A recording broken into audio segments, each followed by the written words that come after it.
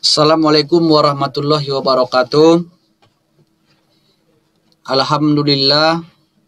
Alhamdulillahillazi hadana ilhaja wala kunna lillahtiyala anhanallah ashadu an la ilaha illallah wa ashadu anna muhammadan rasulullah.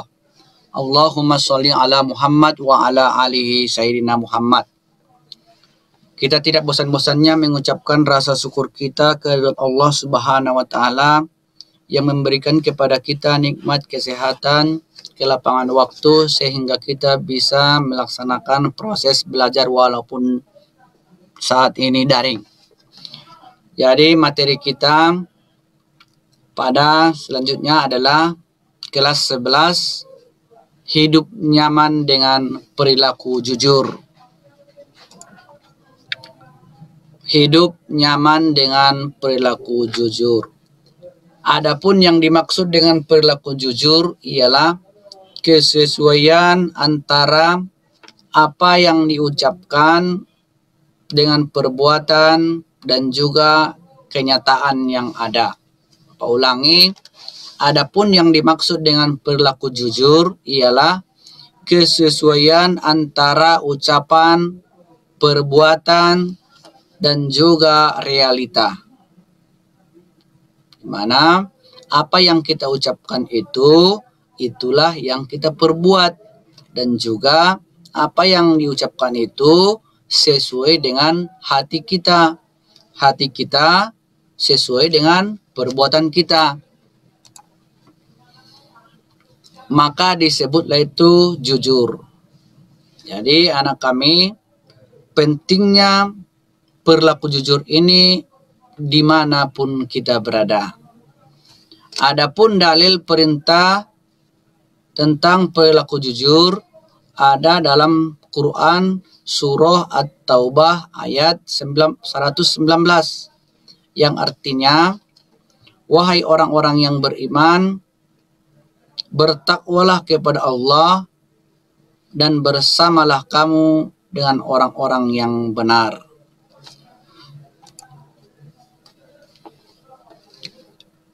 Jadi dalam hal lawan kata daripada jujur adalah berdusta atau ingkar atau mengkhianati. Jadi perlunya kita berkata jujur ya. Ter juga perlu kita untuk menepati janji agar kita terhindar daripada ciri-ciri orang munafik.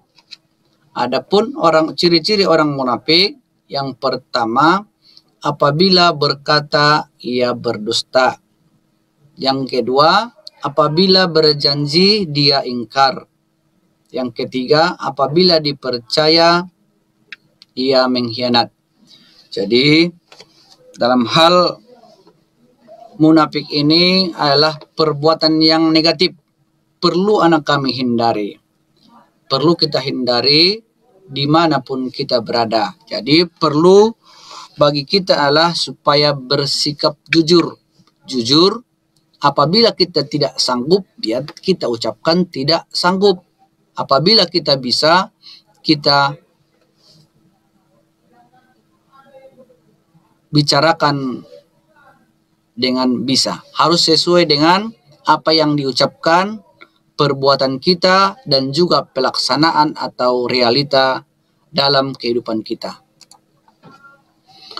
Ya, dalam hal keutamaan perilaku jujur ini sangatlah banyak.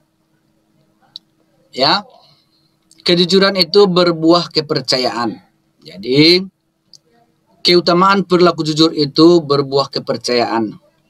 Jadi kalau sudah dipercaya orang kita, kalau sudah dipercayakan kepada kita, insya Allah akan menambah rezeki kita, menambah pekerjaan kita, menambah pendapatan kita. Kalau sudah orang lain mempercayakan kepada kita sesuatu usaha atau aktivitas itu, akan berbuah kepada kepercayaan.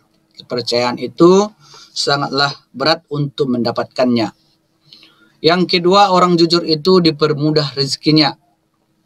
Ya. Orang yang jujur itu dipermudah rezekinya. Dipermudah oleh Allah Subhanahu wa taala rezekinya di dalam kehidupannya sehari-hari. Jadi anak kami perlu untuk berperilaku jujur.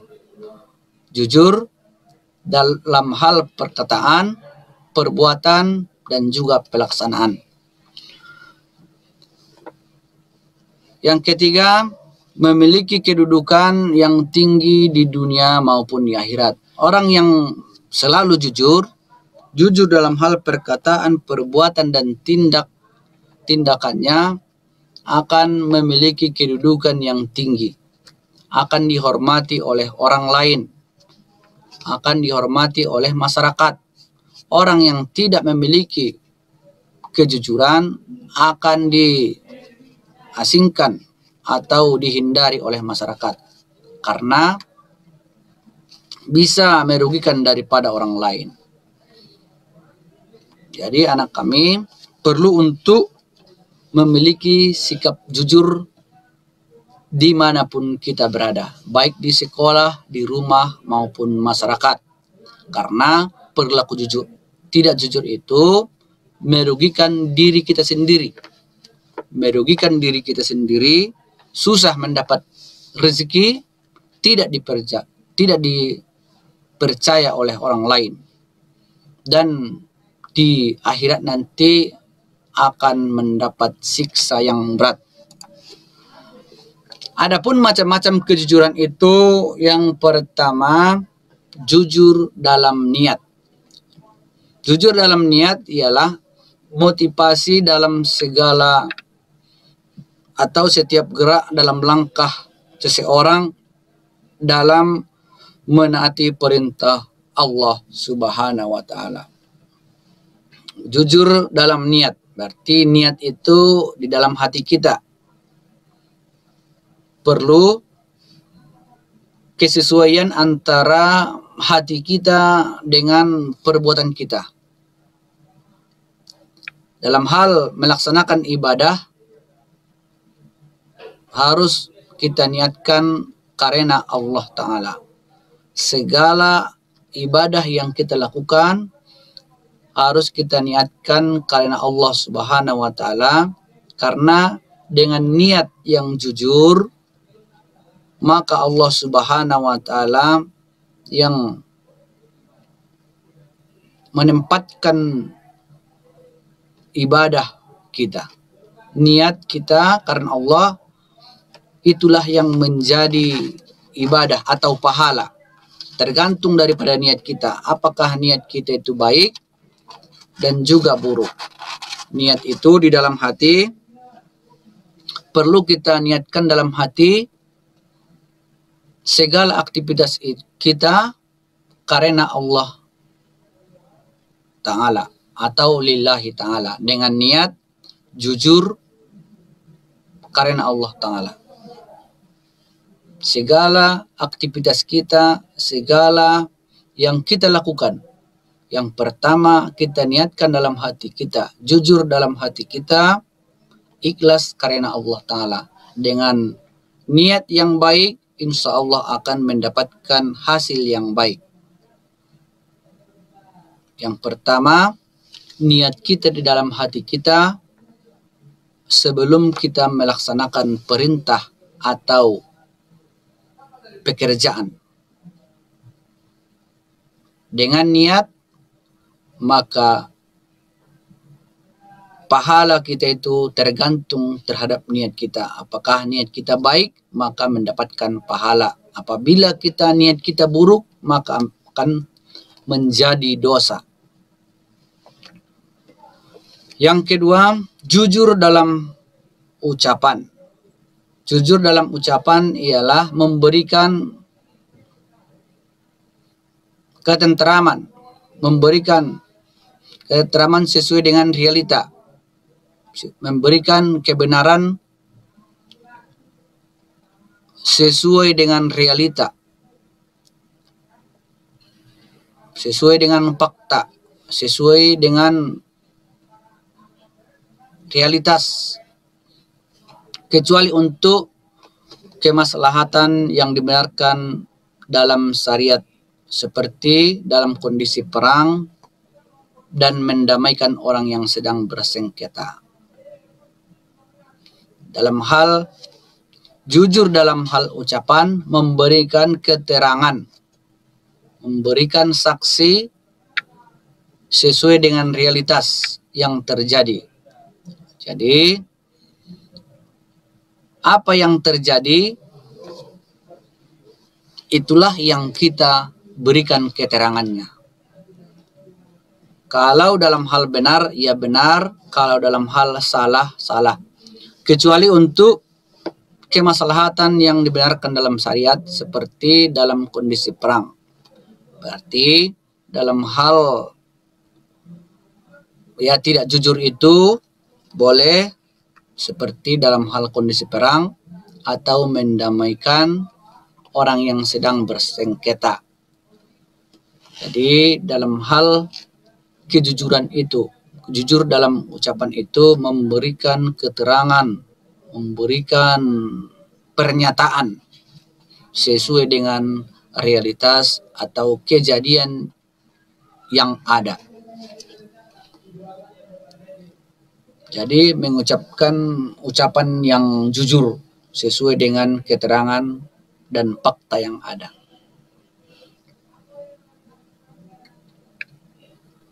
Yang ketiga, jujur dalam perbuatan, yaitu sesuai dengan ucapan dan perbuatan. Perlunya jujur dalam hal perbuatan itu apa yang kita ucapkan semogalah sesuai dengan perbuatan kita. Baik dalam hal kehidupan kita sehari-hari maupun dalam hal ibadah-ibadah kita. Apa pun yang kita ucapkan itu, yang kita janjikan itu, kita perbuat kita perbuatlah semampu kita dengan maksimal.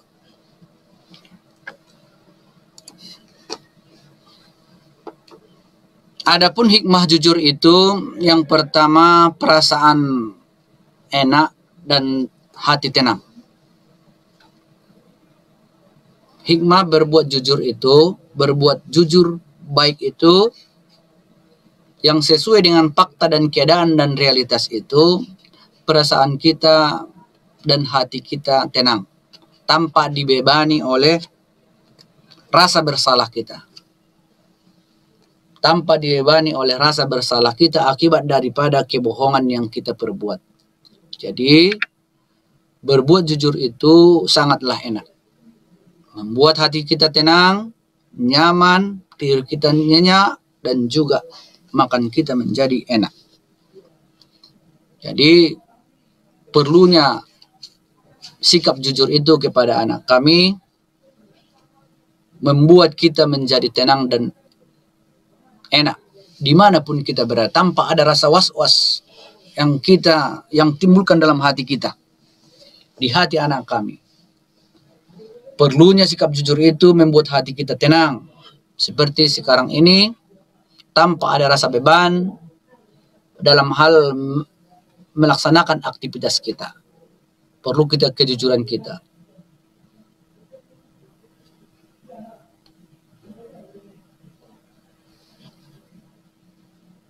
Jadi anak kami perlu untuk memiliki sikap jujur itu sangatlah banyak fungsinya, sangatlah banyak hikmahnya, sangatlah banyak gunanya, sangatlah banyak fungsinya. Di mana perasaan tenang ini sangatlah mahal mahal untuk mendapatkannya. Karena betapa banyak orang yang kaya, yang senang-senang, tapi hatinya tidak tenang. Tapi untuk mendapatkan ketenangan itu adalah perlulah kejujuran. Jujur dalam hati, jujur dalam perbuatan, jujur dalam tindakan kita. Jujur di mana pun kita berada. Maka insya Allah anak kami akan tenang.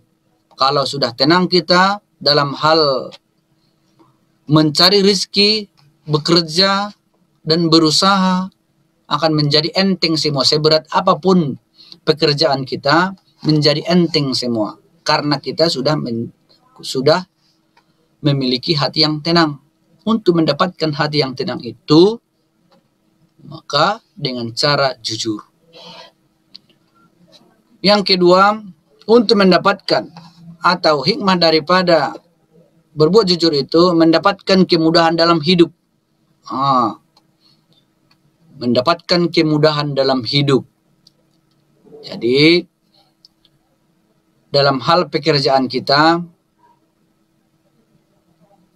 sangatlah enteng semua, sangatlah mudah semua.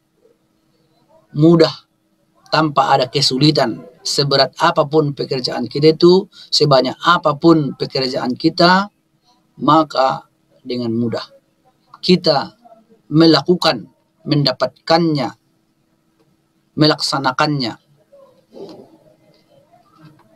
Karena kita sudah tenang, sudah menjadi enak. Maka seberat apa pun pekerjaan itu dapat dilaksanakan dengan mudah. Tapi tanpa ada rasa kejujuran, perbuatan jujur, gelisah, gelisah, gundah, merana. Maka kalau hati kita gundah atau tidak tenang, sebe sekecil apa pun pekerjaan kita menjadi susah, menjadi payah semua. Karena hati kita tidak tenang. Jadi dalam hal hikmah berbuat jujur itu mendapatkan kemudahan dalam hidup kita. Kemudahan rezeki, kemudahan dalam hal melaksanakan aktivitas kita sehari-hari perlu sikap jujur. Jadi anak kami mulai saat ini Bapak harapkan anak kami memiliki sikap jujur karena banyaknya hikmah daripada berbuat jujur itu. Dan berbuat jujur itu tidak akan merugi kita. Tidak akan merugi kita. Tidak akan merugi orang yang jujur itu. Dan bahkan mendapatkan keuntungan-keuntungan. Mendapatkan rezeki-rezeki yang tidak disangka-sangka banyaknya nanti. Selanjutnya adalah mendapatkan ya mendapatkan pahala dan selamat dari ajab dan bahaya. Selamat dari ajab. Selamat dari bahaya Insya Allah kalau kita jujur, kawan kita akan banyak. Kalau kita tidak jujur, maka lawan kita, musuh kita akan banyak. Dengan musuh kita yang banyak, maka bahayalah yang mendekat. Tidak bisa kita ngapa-ngapain. Mau tidur kita diganggu oleh orang lain atau dibunuh. Jadi kalau sudah kita berbuat jujur, insya Allah bahaya tidak akan ada. Tidak akan ada ajab. Tidak akan ada dosa. Maka kita akan selamat. Yang keempat adalah dicintai Allah subhanahu wa ta'ala dan Rasulnya.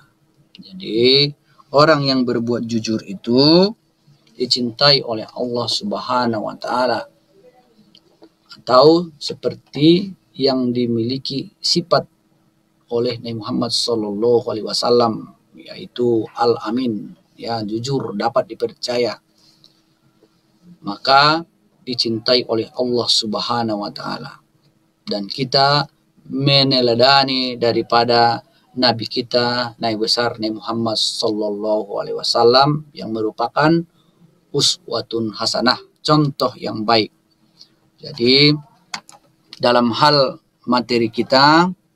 Kita cukupkan sampai sini. Mudah-mudahan ada manfaatnya kepada kita, kepada anak kami sekalian. Wabillahi taufiq wa hidayah. Assalamualaikum warahmatullahi wabarakatuh.